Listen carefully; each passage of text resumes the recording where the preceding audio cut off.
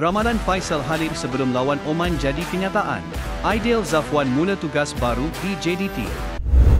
Pemain sayap lincah Harimau Malaya, Faisal Halim sudah menjangka kecaman yang bakal diterima sebelum berdepan Oman lagi. Perkara ini sudah dijangka oleh Faisal yang juga merupakan pemenang gol terbaik di Piala Asia 2023. Sudah tentu jangkaan daripada peminat meningkat selepas Piala Asia lebih-lebih lagi selepas saya memenangi gol terbaik kejohanan.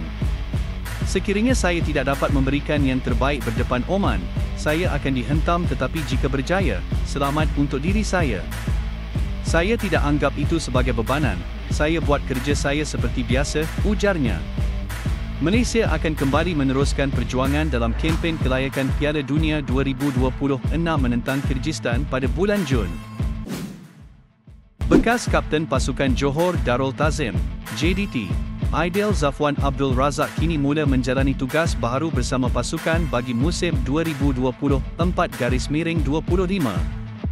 Beberapa keping foto yang dikongsikan oleh JDT menunjukkan Aidil sudah pun menjalani tugasan baru bersama staf kejurulatihan di JDT bersama Ketua Jurulatih, Hector Bidoglio.